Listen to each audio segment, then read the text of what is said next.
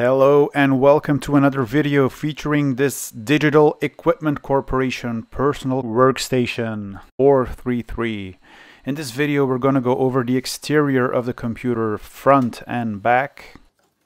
We are going to be disassembling it completely.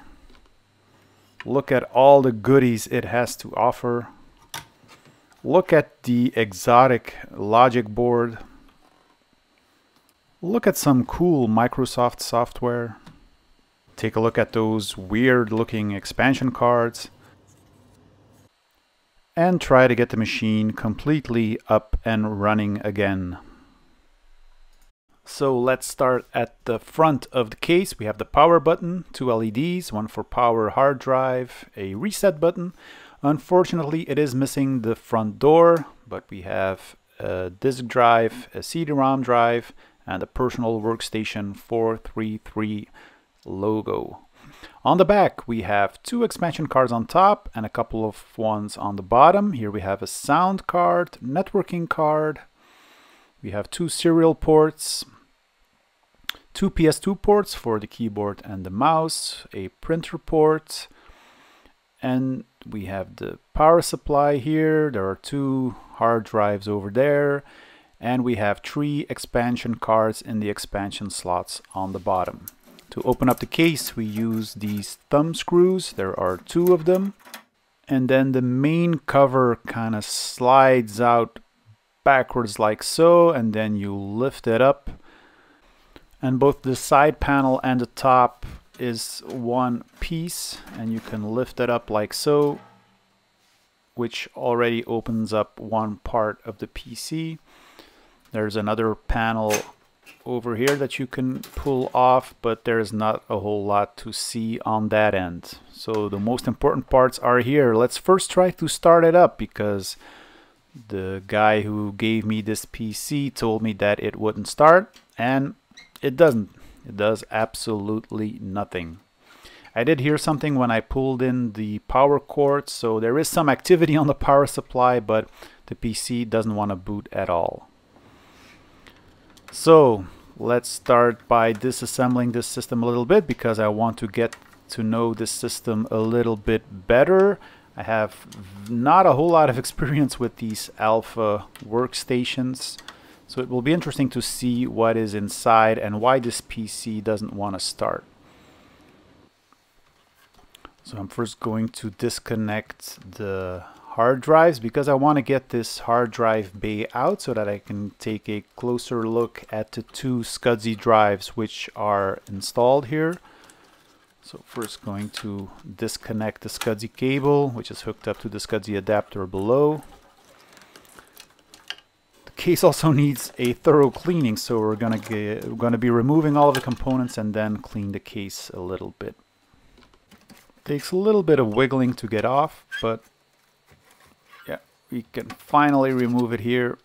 And here we have two Quantum Fireball SCSI drives, 2 gigabyte each. Next up I'm going to be removing these two expansion thingies on the top. They're not really expansion cards, but they're more, yeah, extensions that use this cable to connect them to the main board. So they don't slot into an ISA slot or a PCI slot, but they're just connected to the main board using this cable. So this little network expansion card is hooked up to the main board using this cable. So let's go ahead and remove that one. And this audio card, which has a game port, a line in and line out, is attached to the main board using this ribbon cable and this connector here. We've also got a panel here that we can remove.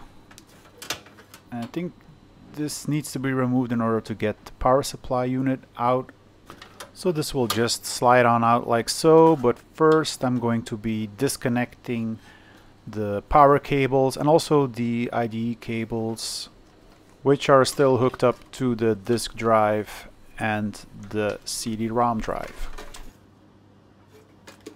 So the IDE cables hook up to the main board directly, so we have IDE connectors on the main board. which is common for computers from this era. So let's also start by removing the expansion cards. Here we have some kind of networking card, an FDDI card that we'll look at later.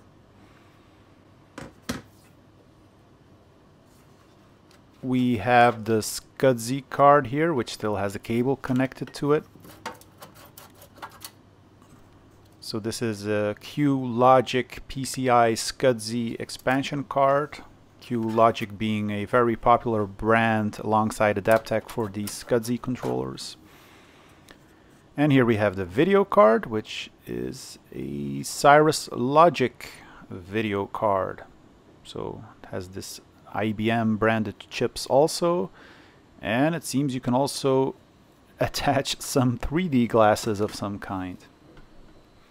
Now before we can remove the power supply we need to get this mainboard connector out and this has a very unfortunate placement because it's very difficult to reach and yeah I had to be inventive a little bit in order to pry it out. It wasn't the probably the hardest part of the disassembly of this computer. Now the only thing which is still connected is the disk drive and the CD-ROM drive. And there was also one additional connector on the main board that we need to remove, which is this 8-pin connector here, which also connects to the main board. But now with all of these cables disconnected from the various devices, the power supply can come right off and we'll take a closer look at it later, but first we're going to be removing the disk drive and the CD-ROM drive. So nothing special here, just your standard 1.44 megabyte 3.5 inch disk drive and an IDE CD-ROM drive dating 1997. So my first reaction was to open up the power supply and see what the state of the power supply inside would be. So I removed all the screws and tried to pry it open. But then I thought, why don't I just try the power supply, hook up a load and see if I can short the ATX uh, pin connector here so that it will start because for all we know, there might be a problem with the motherboard or the power button on the PC. And sure enough, as soon as I shorted the two pins on the ATX connector, the power supply fan and the hard drive kicked in. So yeah, I think that the power supply seems to be working fine.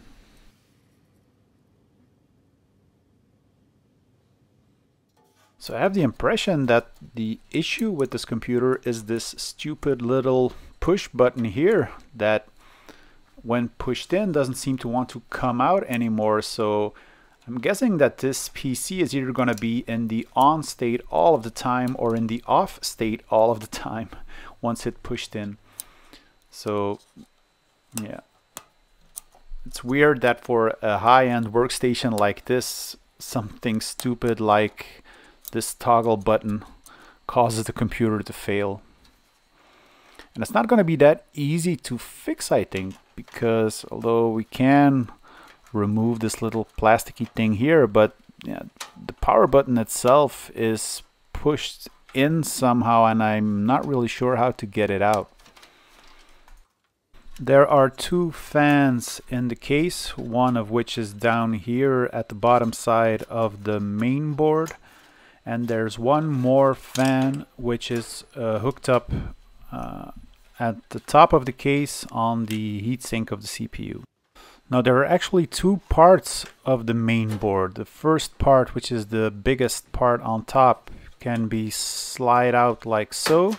So you have these two hinges that you need to open and then the top of the main board just slides out like that. And if you want to put it back in, you just slide it all the way down and the connectors on the bottom of this part of the main board will then uh, attach themselves to uh, the expansion slots which are on the bottom main board or logic board. So by pulling these two levers down, we are effectively attaching the top logic board to the bottom logic board. And here we have that bottom logic board which contains a couple of ISA slots, PCI slots, and a combination of both it seems. So this one also contains the sound card, the power connectors, and all the other connectors which are needed for the front buttons, for the networking card, the audio card. And with all of the screws removed, the bottom part of the logic board just slides on out like so. So here on the top you can see the connector which is used to attach the top part of the logic board when you slide it into the case.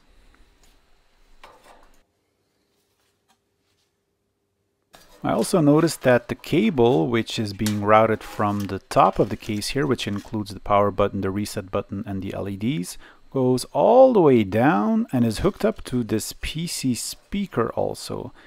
And I have no way of moving that PC speaker and case fan to the top so yeah it's a weird design. Now let's go ahead and clean up the power supply a little bit and also the case because it is very difficult to work with when a case is that dirty. You end up washing your hands all of the time so time to get all of the dust out right now and clean it up a little bit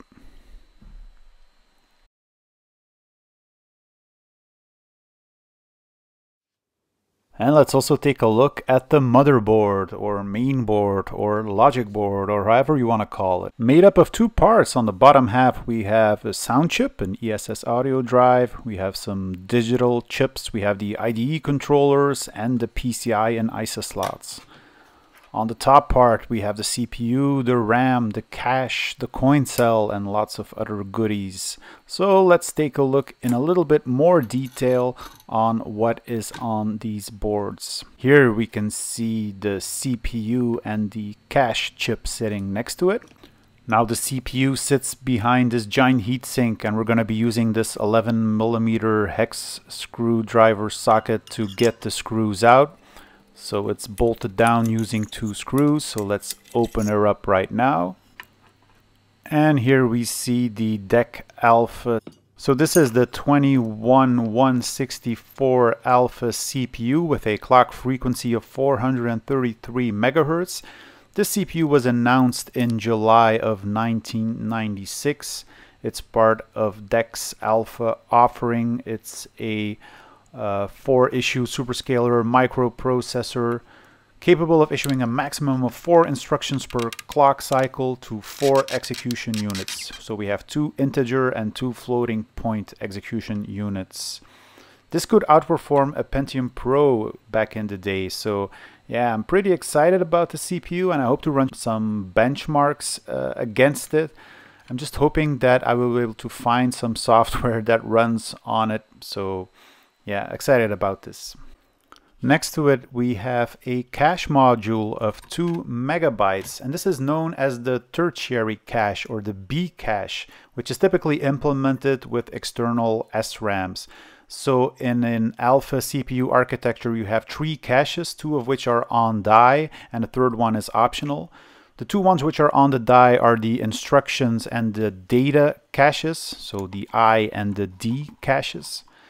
Both of them are 8 kilobytes in size, but here we have an extension of 2 megabytes of tertiary cache.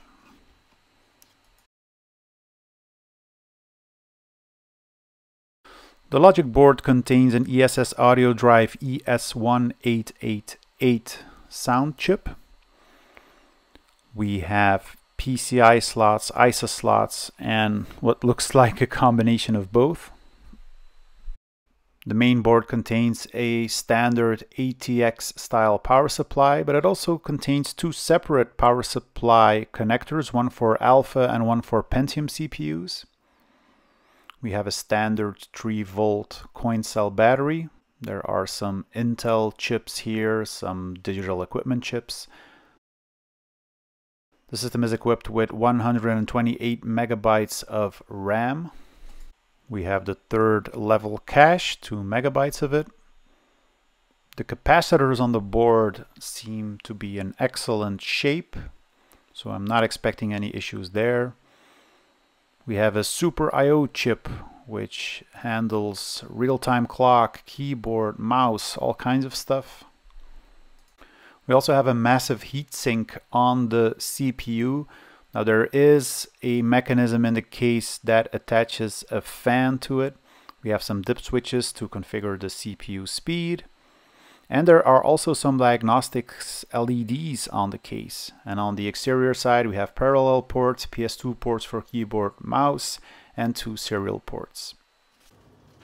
So I've already shown you this sound card expansion board with the speaker output line in the game port. So two connectors to hook it up to the main board. A similar thing for the networking card with the Ethernet jack here and the connector to hook it up to the main board. It has this cutout here which uh, makes sure that you will enter it in the appropriate connector. And here we have the video card which is a special one. Uh, contains this IBM chip, BT chip, and Cirrus Logic chip. And it's a card with a stereoscopic cable port here, allowing you to hook up glasses and the standard VGA connector. So I think this has 2 megabytes of RAM. It's a card made specifically for uh, digital equipment and their Alpha series. So yeah, pretty unique card. And finally we have the SCSI adapter from Q Logic with a couple of connectors here internally and one external SCSI connector a pretty standard uh, card. Great support in Windows NT, in Unix environments. 1995. Alongside Adaptec, this was one of the leading SCSI uh, vendors for expansion cards. And then finally, we have this little card here, which is a PCI FDDI adapter with this Siemens connector here which is a Fiber Distributed Data Interface or FDDI interface. It's used for local area networks, uses optical fiber cable as a standard underlying physical medium. Not something you come across every day, but in this case we are going to be using the standard networking card, which is the 100 megabit Ethernet card, which is embedded on the main board and exposed via that expansion card.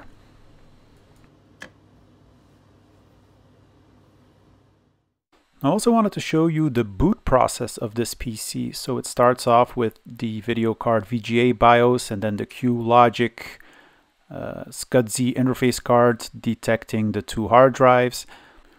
And then it loads up this nice digital personal workstation splash screen before entering the Alpha BIOS, in this case version 5.70, where it again does the whole SCSI controller initialization process.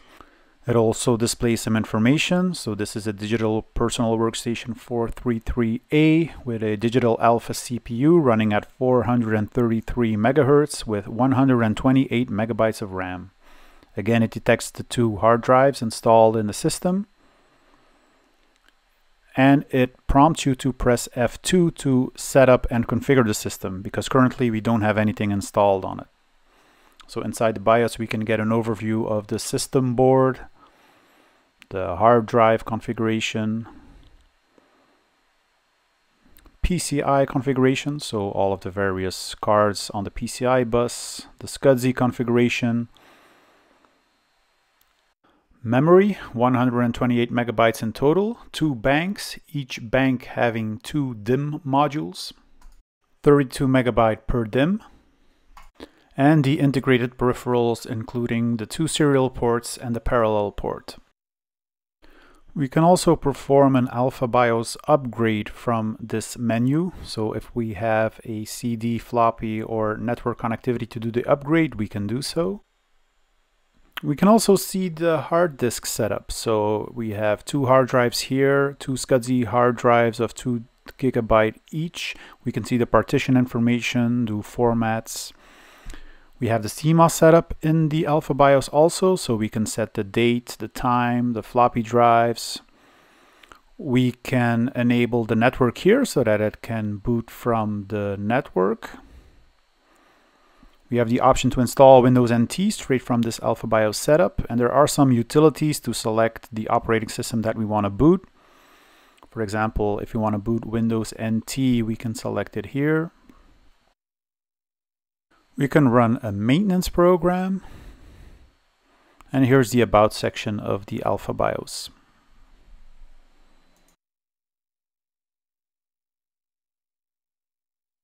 But now let's perform a clean installation. So I'm going to be removing the existing partitions from the hard drives. So we can do that from the setup utility here, just selecting all the partitions, hitting F10 to delete. And for the operating system, I have chosen Microsoft Windows NT Server 4.0. I've always wanted to have a chance to install Windows NT Server again. Now, I know that this is a workstation and not an actual server. I didn't have the workstation box, unfortunately, but I've always wanted to reinstall this Windows NT Server because it's been, I think, over 20 years since I've uh, installed Windows NT Server 4.0. So this is going to be a lot of fun.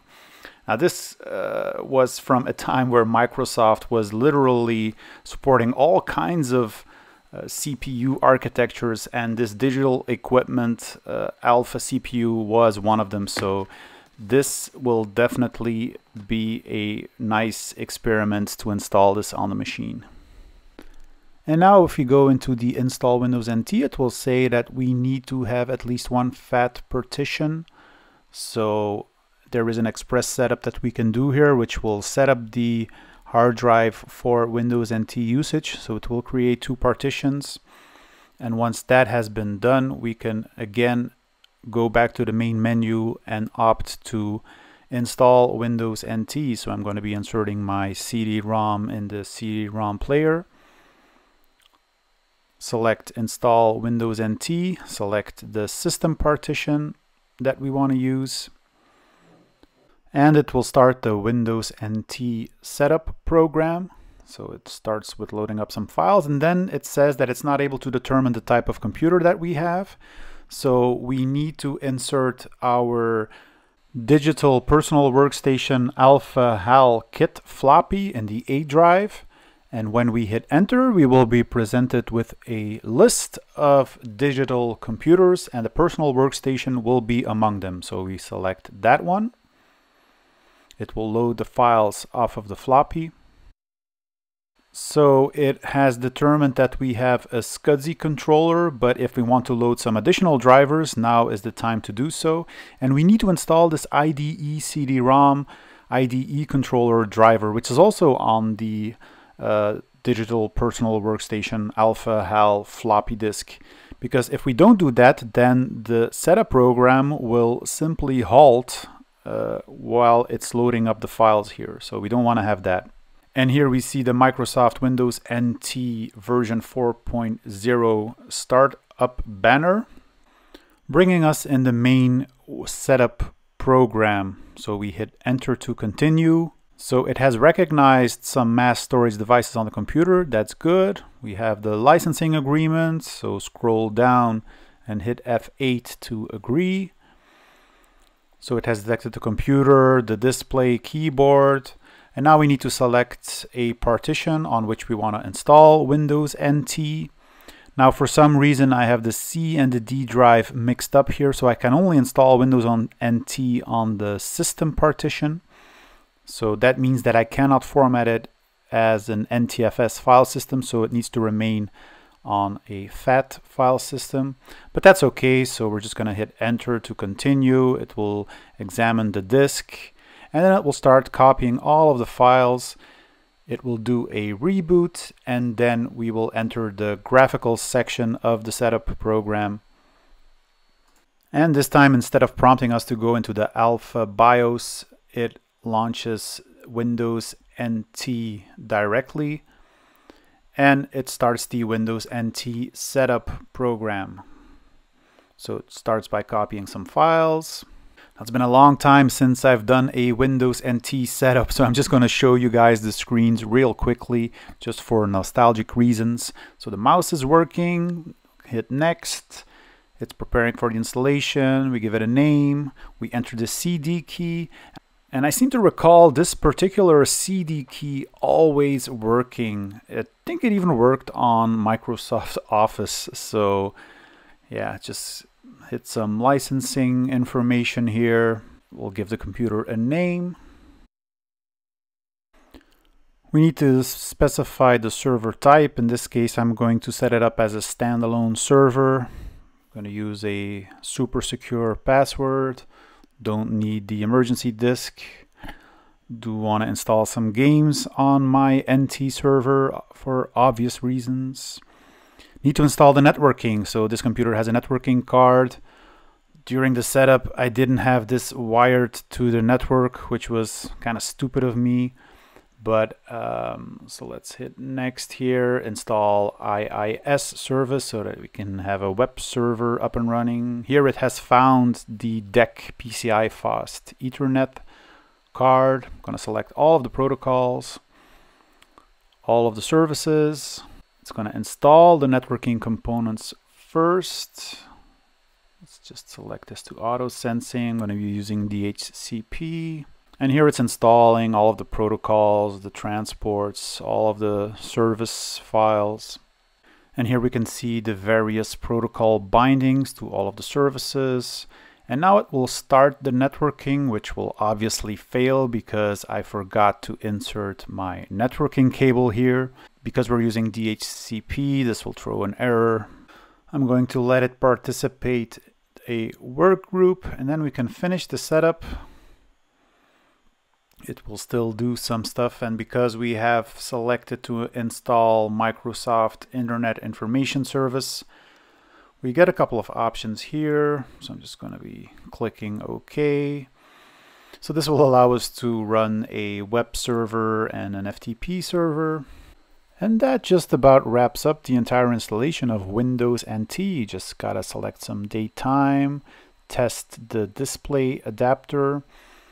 For some reason it does detect it as a Cirrus Logic chip, but I can only do 800 by 616 colors. So yeah, probably need to install some drivers for that. But after it has copied some files here, the installation is done and we can restart the computer.